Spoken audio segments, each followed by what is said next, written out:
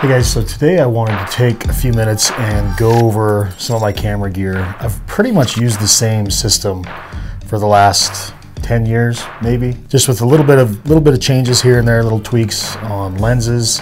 And then the cameras, I've pretty much, since I found the Panasonic, uh, the Lumix GH series, I've kind of stuck with that. I started with the GH4, now shooting on a GH5, may upgrade to a GH6, but they've also got the S2 that has a lot better autofocus capability. If you're just a cameraman or if you're just filming, you know, manual focus is where you want to be. As a self-documenter and as a self-filmer, it's really handy to be able to have some of that autofocus. Just kind of go over the basics of what I have, whether it's what I'm taking with me up on the mountain for an extended trip or you know some some other truck hunting or whitetail hunting or that type of hunting scenario. So basically we'll start off with the camera. This is the GH4. It's the one rattle canned. I'm actually filming with my GH5, but it's a micro two thirds. I've really liked this camera because they are very durable. They're small, they're lightweight, they're compact, they're easy to pack in and pack with and you know just a very user friendly simple camera to use. As far as i'm concerned for a self filmer self documenter and an actual video quality camera it's pretty dang hard to beat the gh5 i love the picture quality. Um, i know the camera really well and it's a very simple user free camera. I've done some filming with the Sony cameras, and um, you know I'm kind of an ox anyway, but it seemed really clumsy to me, and I kept hitting buttons that I didn't know how to get out of menus in different scenarios, and so it was really frustrating. With this, the buttons are really kind of hard to hit anything that's going to mess you up. As far as the lens goes, I use pretty much two lenses all the time exclusively. So I'll use this 12 to 35 this is a native lens, native Lumix lens. Fairly wide angle at that 12, uh, you know, 12 millimeter, and then the 35 gives me a little bit of zoom if I want to do some some tighter focus on, you know, anything that's in kind of a close range. So this is really just kind of my interview interview style lens. The lens that I have on here is a 12 by 60, and sometimes I'll pack that if I really feel like I want to have a little more magnification for for certain things, but I, this is really kind of my favorite lens with that. The other lens that I use, this is a 100 to 400. It's an f4. And I, I'm not a big spec guy, but for me, this gives me really good quality and enables me to zoom out there as far as I need to do. I also can film, you know, a whitetail hunt, several of the whitetail hunts, because you back off to that 100 millimeter and it's plenty for a 15, 20 yard shot out of the tree stand. Gives me a nice clear, but if something's clear, clear uh, picture, but if something's coming from a distance, I can zoom in there and, and really grab it. So these GHs, they're not the best with, for photos. Um, they're good, but they're not the greatest. So I think that's what maybe steers a lot of guys towards a Canon or a Sony, is they want to have the, the higher photo capabilities. I'm pretty much 90% a video shooter, but uh, some of that's kind of changing as, as I'm getting a little more interest in the photos and a little more demand from, from some partners on photos. So uh, the audio that I use, pretty deliberate when I when I'm, filming a hunt. I'm pretty much if I'm going to be talking, I'm talking to the camera, and it's in a situation where I feel like I can talk to the camera. So I pretty much just use an onboard mic. It works well. This is a Sennheiser MKE 400. I think this is a Gen 2. I've gone through a, several of them. Um, this one seems a little bit more robust. Great audio audio quality. I will say anytime you're patching audio into a DSLR or into this camera specifically, you're going to get a little bit of distortion. When I do use a lapel mic, I mean, generally I haul the Sennheisers. Um, there's a receiver and a lapel mic. Really, for me, it's just kind of a pain in the butt to always either keep them on all the time and have the batteries run dead or turn them on, remember to turn it on when I'm talking to the camera. So um, I really don't do lapel mics much anymore, although Remi turned me on to this Tascam, which is what I'm using now. And it's essentially just an audio recorder that records separately. So it's a lot more, a lot lighter. There's one or two batteries in here, I can't remember, um, versus the four that you got to have there with the receiver. So from a pack-in, you know, backcountry hunt type of a, of a standpoint, this little Tascam, you know, just personal recorder works really well. What I don't like about it is when I'm recording video, obviously your audio is being recorded here, the video is recorded separate. So I really have to keep track of telling myself I'm logging when I'm on camera, when I'm using this mic so that I can match those, those audio tracks up later. the editing system, the Adobe Premiere, is really good about linking those audio tracks and searching for that for you. But if I'm filming all day for three or four days and I'm piecing in audio here occasionally, um, it's really kind of hard to find those pieces three days into it to find the audio that I used with this and the video. It just takes adds a little bit more time into the editing process, but ultimately I think that it gives a lot better audio quality, which is not something I've focused very well on in the past. Um, and I always tell myself I want to be better at it. And I probably will try to work harder on it, um, but it is kind of a hassle. So, but really, for my filming style, I only need audio if I'm looking at the camera and talking to the camera, unless it's you know a natural sound or a I want some some wildlife footage, whether it's an elk bugling or just the wind and that type of thing. Then that's when that onboard will come in really handy. So. I think it's more just a matter of getting in the habit of saying, you know, looking at the recorder and saying, "Oh, this is audio track 17." Boom, and then it's that'll it'll make my editing process a lot easier. Um, tripod. I've had this Gitzo for probably 15 years. This is the original one of the original mountaineering um, styles. I, I, can't even remember the number on it. I've had to glue the legs back in a couple of times. What I like about this is just is its its length is really good without having a lot of bulk. Um, folds out quick. It's just really robust. It works really well for me. I'll try to write down some numbers in the blog post there or whatever, but um, you can't even really find this head anymore or this tripod.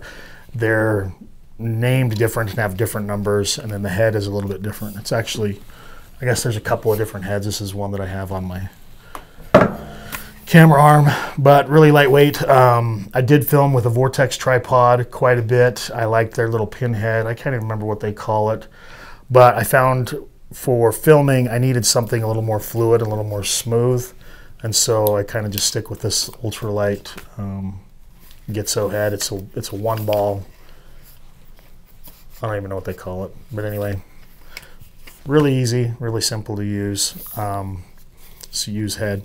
And this whole system here, this is well under three pounds with the tripod and the, and the head. It's a two-stage, three-leg. What is that? One, two, three, three-leg, three-leg setup right there. Um, I used to, and I really liked it for years, I would put, I had a broken shooting stick and I mounted it off the back here about this long. And I'd mount my GoPro off of the, the back of that. And then I'd have, of course, my camera on here. And I loved, I loved that angle. I loved giving, being able to give that perspective of filming a hunt, you know, and actually filming the filming it was really cool. But I've kind of not 100% gone away from the GoPros or the point of view cameras, but the problem that I've had, and especially with hunting a lot on public land, is it just shows everything, you know. So it really kind of botched uh, some of my hunting areas, um, some of my friends' hunting areas. It really just kind of messed a lot of things up by just having such a wide angle of view and just showing everything. And so I've really been careful on when I use a GoPro and when I show it. So for that reason, I kind of took it away from filming the camera because you could see every mountain range, every peak, and, and really triangulate and find out exactly where I'm at. And here's the, the reality is I'm hunting crappy areas. It's not like I'm hunting the best areas in any given state, but I'm hunting mostly public land. And so, um, you know, for a lot of new people getting into hunting, they're really kind of allowed them to hit the easy button and fast track into a, an area or location that I maybe have scouted for years and figured out. And it just was showing too much. So for selfish reasons, I kind of got away from the GoPro a little bit or the point of view cameras. And, you know, mostly it's, it's been GoPro. They are kind of glitchy, you know, from time to time. This is the, the Hero 9, I think, or the whatever the 9 model is and the batteries have never been that great. Just the point of view cameras really have really never been that phenomenal. So I try to do as much as I can on on my my main camera. The other camera that I use, everybody has them. Cell phone. I use my cell phone a lot. If you if you were to watch my Dall sheep hunt in Alaska, uh, a big percentage of that was my cell phone because it's always in my pocket, and when something's going down, it's really easy to pop that out. Um, so don't discount your, your mobile phone and being able to film. Um, that's when I'll tie it into my phone scope, through my spotting scope. So a lot of the long distance footage that you see is filmed just like this through the phone scope, through my spotting scope, and then, you know, 1,000, 2,000 yards away, which doesn't give you the highest, highest quality of, of footage, but, uh, you know, 2,000 yards or long distances, you're not going to be able to see a whole heck of a lot anyway. And then as things kind of, as we, as I kind of approach and get into closer on the animal, and tighter filming, then you know obviously the 400 millimeter is is plenty there. So this is just a little bag that I keep extra batteries in. Um, I keep a chamois for cleaning the lens, and then just a really inexpensive waterproof bag. That's it. And then I usually keep a couple of uh, AAA batteries in here for my headlamp and for my microphone. This runs on a AAA, and then the Tascam also runs on a AAA battery. So I just can't kind of keep that in there. Depending on how long I'm going out on a hunt will determine how many batteries that I take with me. I generally try to budget a battery per day. These cameras, especially the GH4, is phenomenal on battery life. The GH5 is a little bit less, but the, the more I've gotten into my filming career, the more I edit with the camera, and the more I'm only really filming what I want to film. Um, that is the other really enticing feature about the S5 II, Mark II, whatever they call it, the Panasonic, is you can actually tie in through USB-C. I can plug in my dark energy or a portable charger into that and actually run the camera off of a portable charger. So that'll come in real handy. But ultimately, I kind of got away from hauling in solar chargers and all that kind of thing and just went to just packing a few extra batteries less space and less weight. But for me, I generally budget one battery per day. Unless I'm on a 10 or a 12 day hunt, then I kind of say, all right, I'm going to have some downtime. I'm going to scale that back to maybe six or eight batteries um, just to save on, on extra weight and extra bulk. Um, and then, you know, but the downside to that is if I'm not running my camera as often, like for time lapses. Time lapses just suck a lot of battery out of the camera, but the productions kind of suffer from it. You don't get a lot of that, you know, nice cinematic appeal to it. And that's one thing that early in my filming and, and documenting hunts, and I, I was going balls to the walls and just doing everything. And there was so many time lapses and, you know, different, different uh, cinematic shots and cutaways and everything and just just burning through it. But the more I just wanted to simplify my life and simplify my hunts and make it a little bit more enjoyable, I kind of took away a lot of those aspects of the filming because it was really taking away from the hunting part of it. You know, all the, the time lapses were shot during the middle of the day or whatever when nothing was going on. But the more I get into hunt mode, it's like there's always something going on. I'm never just sitting around doing nothing. I want to be somewhere. I want to do something. Or I'm in a situation where I set up and start a time lapse. Then I was like, oh, elk pops out. I need to film this elk, and so it just really kind of kind of went away. I do want to focus on that a little bit more. Um, really, the ultimate solution would be to pack two cameras, and then you just set one up that's just strictly for that. I don't know that's going to happen, but the goal is is to try to be to be to go back to some of those earlier days and be a little bit more cinematic, and a little more producing rather than just documenting. Um, so that's pretty much there with my mountain system. I mean, this is really pretty much what's going on the mountain with me right here. All together with the spotting scope, I don't know, 10, 12, 15 pounds. It's really kind of a pain in the ass, but that's, that's what we do. That's how we do it. When I whitetail hunt, I keep it simple. I've been using just this fourth arrow camera arm. I have several camera arms. I have a muddy, I have a third arm. I like them all. Um, I went to this one just I like the ball head. It can really adjust to different angles of the tree. It's light, compact, and fits well. I think they've got new models since I've picked this one up that are probably better, but I'm kind of a creature of habit and pretty much a tightwad, so it's not like I'm just going to get rid of this camera arm and, and buy the newest one. Um, you know, maybe I'll give this to somebody or some of my guys or something and, and pick up another another camera arm. But that one's worked really well. So. As far as a drone goes, I used to do quite a bit of drone stuff, you know, down low in that, but ultimately became a point where some of the Forest Service or BLM weren't allowing film permits for a drone and you had to have special licensing. And so anymore, I'm just like, eh, I'll use my drone if I'm on private land or if I, you know, really feel like it's going to add to that situation.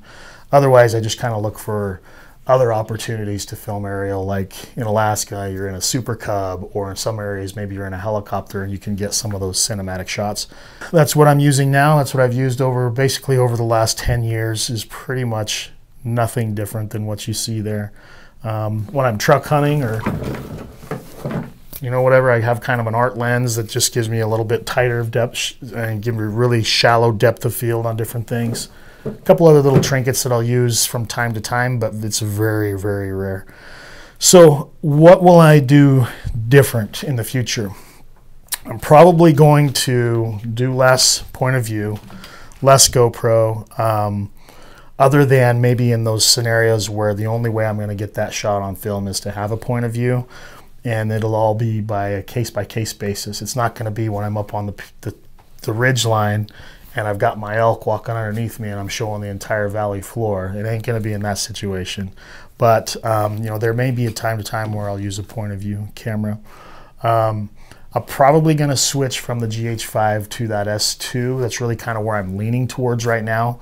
But it is a full frame camera versus a two thirds uh, micro or whatever they call it, micro two thirds.